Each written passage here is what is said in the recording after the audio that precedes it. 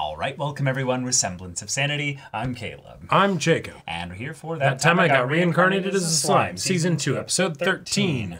All right, so we have a unique situation here. Mm-hmm. We got ourselves uh, Rimuru new current state of things, but we also had a bit of a recap episode before this, We did. which we watched on our own time, just because it seemed like it was the kind of thing that gave us very little new information. Exactly. and then primarily sets a new status quo for Veldora and Ifrit, which is cool. They have water cooler conversations. Yeah, yeah. And now Veldora is going to be brought back into the story after he's been imprisoned for all this time because of what Rimuru is now able to do. Yep. So cool. Awesome. I, I think Veldora being in a body double of sorts of of Rimuru's that's then one he's able to take on a new form of and just go about and do things and stuff. It's like, hey, a character we haven't seen in a very long time. That's that's cool. And Having him introduced at the very around. beginning. So, yeah. Uh, yep. I personally, though, I think at this point it would be kind of nice to get some Milim focus because while we did get that whole thing of her fighting Carrion and whatnot, I feel like her interacting with Rimuru and the main main cast of characters would be pretty fun. Yeah, yeah. And having then just everybody being back, everything being reestablished, the status quo has been, you know, just brought back to a state of equilibrium, except Rimuru has ascended to becoming a demon lord, but also an angel with the skill of Raphael and also kind Yeah, of a demon thing. with Beelzebub. Let's see how this all plays against the world of other demon lords that may or may not be in some kind of strange alliance. Yep. So, y'all, without further ado, let's get into this.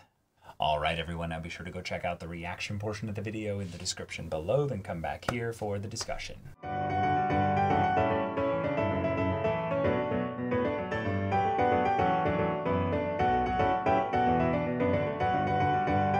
All right, Okay. that's that's that's the uh, the the resolution of the kind of the the arc of that whole problems, and now we have people from the new one. past and connections to previous characters just rushing at me like, hey, hey, hey, Rimuru, we're your allies. Mm-hmm. We're connected to you tangentially somewhat, so. We're we need to be of this pie. involved in all this whole Yes. this whole shindig because the world's about to change Right. in a very dramatic way. You're a demon lord. You're going to be picking a fight with another demon, at least one other demon and he's going to announce his kind of demon being a demon lord. Yeah. And and in some ways, that's not an immediate problem for the kingdoms in general. It's more the oh no no no, we're used to people being of that level. Right. So now they immediately send their full parties to parlay and talk.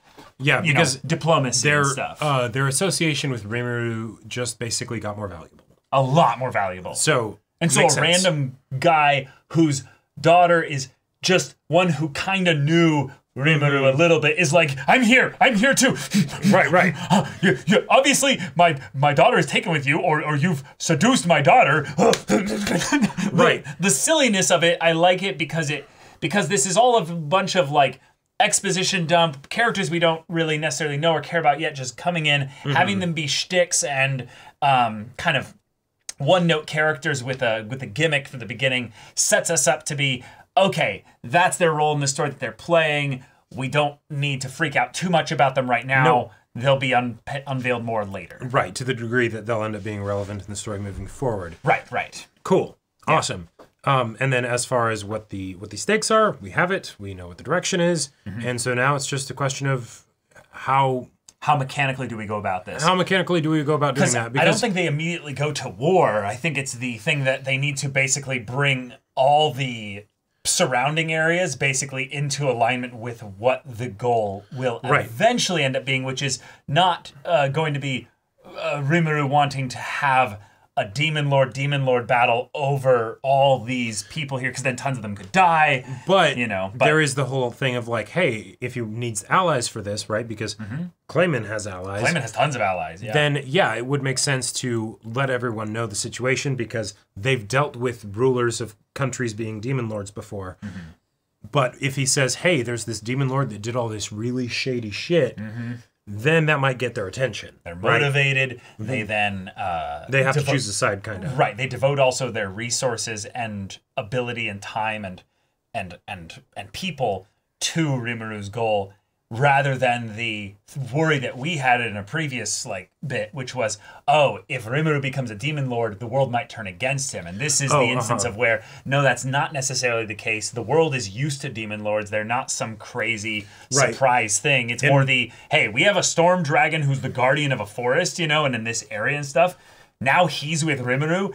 Everybody is extra then excited to be aligned with Rimuru because it's like, wait, even demons, the d- d- dragon gods, that everybody's on him on his side. This is amazing. Let's keep this going. And given how this is sort of moving on very quickly and in a positive direction, Mm-hmm. I'm guessing we can assume that, um, and given how they fully routed the Kingdom of Falmuth's army, but then also the King of Falmuth himself, Mm-hmm. we don't have to worry as much about the idea of, oh, something ha- something terrible happened. We tried to defend our own, and then suddenly Rimuru smote our army.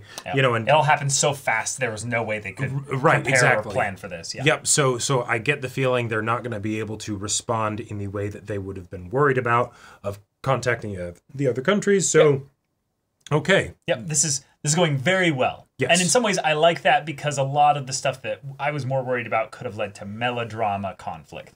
And Hmm. this is the kind where it's just the nope, we have our super powerful protagonist acquiring ultimate skills casually, just Yep. the whole nature of what happened with Veldora being what it was, and now the fact that he's gone and become so like in tune with Rimuru, he's read up on all of his history, knows All all the manga, and manga. anime and every stuff like that, making tons of references and things, Yep. then leads to him having his own essence as an ultimate skill.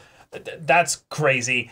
And then just okay, now let's let's move forward. This is Right. this is this is the next step here. Let's go to the demon lord conflict or demon lord drama. Right. And Rescue a demon lord. yeah, so let's rescue one of them because clearly Cool. he got his ass beat by I- Milim. I like that And as a also by the other that right the other one. Yeah, yeah. yeah. Uh, and I like that as a um as a specific objective that's not like the unite the world against the Clayman kind of a thing. Right, more vague and esoteric with the political side of things. Exactly. This is more It's- it's concrete. very concrete and to the point, and it also is a way to deliver on the sort of mystery slash promise that we had introduced a while ago of what is the situation with Milim exactly, mm-hmm. because we don't fully know why all of this stuff is happening, even if we know how it's happening. Mm-hmm. So having a reason for them to go to her, and then also introduce this new character Carrion maybe because. You know, Carrion was kind of introduced with his fight and beat down last episode. Right. So, you know, if we get that, awesome. Um, yeah. Yeah, but all in all, a rather, rather, rather straightforward Mm-hmm. episode. It makes sense why they wanted to do a recap bit and just kind of bridge all this changing stuff with a little bit of exposition. But the main things about this episode is that it's just, it's just a springboard into the next arc. We even get a new OPED. Yep. It's the second half of the season. Um, we had the aspect of since they were all named by Rimuru, whenever Rimuru evolves or gains in power, They evolve as well. They also as well, And and, then Shion use that for a gimmick joke of Shion actually giving the ability to change the material reality of what she's cooking to taste how she likes. hey, watch, there's going to be some point where they actually need to poison someone, and they're just going to make it so that it's, you know, uh, like iocane powder, odorless, tasteless, traceless, and, you know, Mm-hmm. yeah. Wonderful. Uh, it's it's silly. It's it's it's fun. It moves things. Uh, it moves things from from plot point to joke to plot point to joke to Yes. meeting time. To I moth think- falling down dead and all that. stuff. Exactly. I feel like this season of Slime had a much better handle on things production wise. Oh, yes. if they're adapting things in a certain way where they had to leave a whole bunch of stuff cut and put into like a recap episode of sorts or, or, or what have you, I feel like the pacing is going through things rather nicely, even to the point where it's the, and then I told them all about my plans as to what to do. And it's basically a bare minimum like, you're going to go here, you're going to go here, you're going to go here, and Mm-hmm. Yep. that's about it. And, And then, even using comedy to, like, touch back on things that are being seeded of stuff like Great Sage or Raphael now, you know, being an individual with personality and id and will and all of that stuff. The fact that Rimuru can do something that kind of pisses them off and makes them act differently, you know, right? Like, and and then he has to actually like uh, apologize and you know and reason with them and all that stuff, as opposed to them just being this little, you know, uh, assistant bot, right? That just helps him with everything that he needs. You know, that on top Well, of all the stuff of the to say power evolutions and things like that. Yeah, exactly. We're already getting into some potentially like uh, we're setting the groundwork for potentially sketchy genie order interpretation kind of kind of stuff. So Yeah, Cool. That, that was that was fun. I also loved that uh, Rimuru's thing about if they have any hostility, or if they're hostile, then bring it up.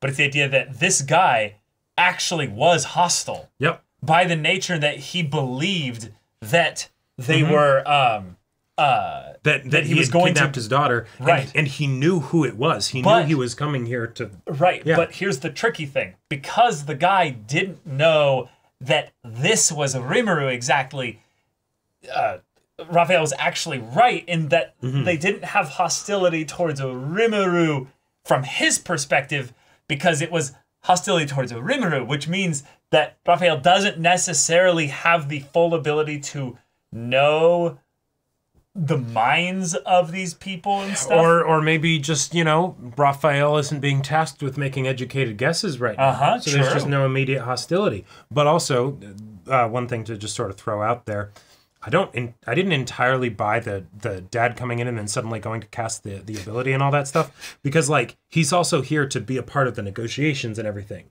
right? Like that was that like you know Yeah, his characterization was pretty dumb. Yes. brought it up afterwards, so you Oh, know. yeah.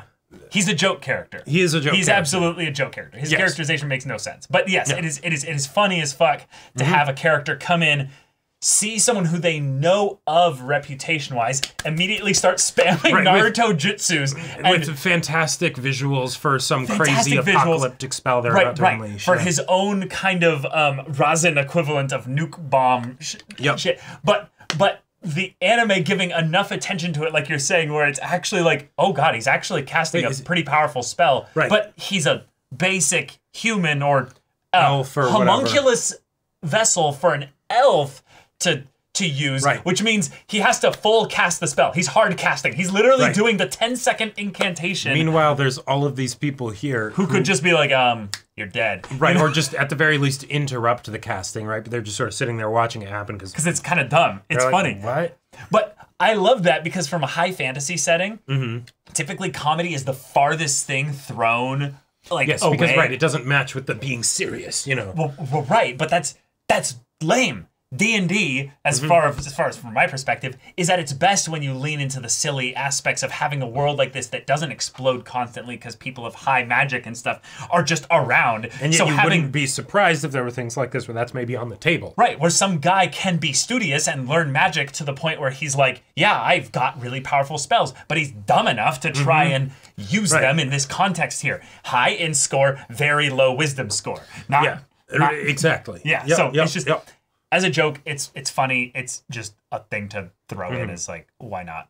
But also, uh, Dwargo being here, probably my favorite of the like world characters. it- by, Mm-hmm. Yeah, by I- far. Oh yeah, of all the leaders, he's definitely the one that's got Yeah, the who's most not like a, he's not who's not in the JRPG party, if that makes Right, sense. exactly, You know yeah. what I mean? He Yep, he he's always, not sworn to Rimuru, but he is a character. yeah, he always felt like he was kind of not in the same world as this other cast. It's Yeah, and exactly. Like like he's actually he's actually from the serious fantasy story. right, right, exactly. Mm, All of them are from you know silly JRPG shenanigans Yeah, stuff. Yeah. Yeah, Yep. just the, the dumb D and D party. So Right, he's the one who brings up like, no, no, but have you actually thought about what it means to be a leader and a king and like, you know, leading the masses and, and you then know, you sit here watching this kind of isekai power fantasy show, like, wait a minute, yeah, yeah. I'm actually going to start writing this down. This Troy is from Community being like, uh huh, uh huh. yes, good, good, good stuff there. Okay, but him being here, combination with a more joke, silly character in his introduction, means that we could see a oh, uh, a new kind of push for Rimuru to be like, they're not just here for their own interests. They're kind of here to push you in a specific direction. They're tugging on you. Yeah. yeah, yeah. And and now that you're a demon lord and you're someone who not just had like economic power like you did before, but like the real shape, you know, World shaping power. world shaping power. Yeah, people are going to be very, very much interested and invested and uh, making their own desires known. Yeah. And then all this on the back of just having uh, Veldora be in a human-esque form. That is very loud.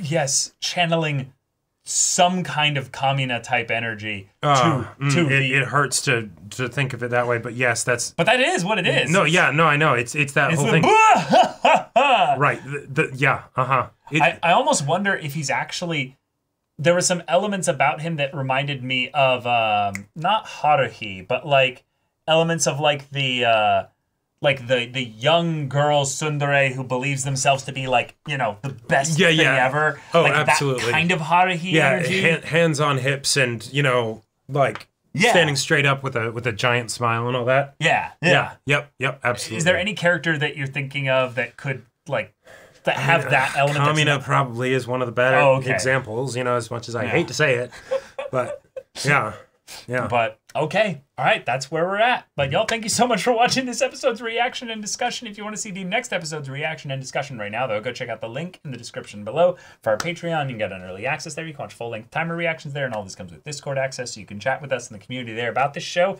about anime in general, and also be sure to check out our Twitch channel. we stream every weekday. The info's in the description. So if any of that interests you, we'll see you there. But until then, we're Semblance of Sanity. I'm Caleb, I'm Jacob. and we'll see you all Next time.